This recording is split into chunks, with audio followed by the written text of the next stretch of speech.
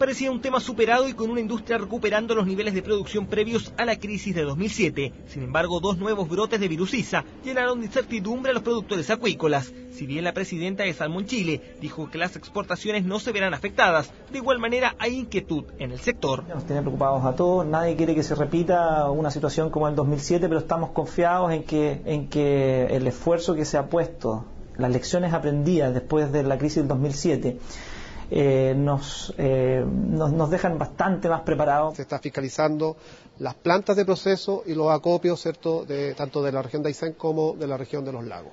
Tras la crisis pasada, las autoridades cuentan con una serie de medidas de control y prevención para evitar la propagación del virus. Tarnapesca declaró emergencia sanitaria en la zona afectada, ubicada al norte de Aysén. Además, estableció un área de protección y vigilancia de 16 millas, en las cuales serán muestreos cada 15 días. También se ordenó la inmediata cosecha de todo el centro, que tiene alrededor de 900 mil peces. Ambos barrios eh, son barrios que tienen cosechas para el mes de octubre, por lo tanto estamos hablando de salmones que tienen un promedio superior a los 3 kilos ya, por lo tanto el costo también para las compañías no es alto porque también faltaban meses para que siguieran ante la cosecha. Donde sí se ha notado el impacto es en la Bolsa de Comercio de Santiago. El miércoles las acciones del índice Salmón retrocedieron un 3,44%, mientras que este jueves la caída fue de 1,23%, lideradas por Camanchaca con un 6%.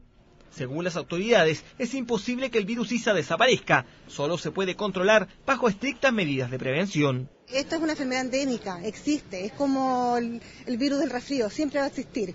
Eh, hay algunas condiciones que de repente se pueden dar que permiten que aflore o no aflore. En este caso, obviamente, hay unas condiciones como calgo y otras condiciones que han permitido y facilitado para que esto eh, brote. El caligus es una enfermedad parasitaria también conocida como el piojo del salmón, que ataca a los peces debilitándolos y haciéndolos más propensos a bacterias y virus, como por ejemplo el ISA. Para los expertos, es poco probable que se repita una crisis como la de 2007, cuando prácticamente desapareció la industria, aunque se debe estar atentos. Precisamente la experiencia que se vivió en aquella época nos permitió eh, tomar medidas de manejo, de control de estas eh, enfermedades y por lo tanto eh, sería muy difícil que se den las mismas características.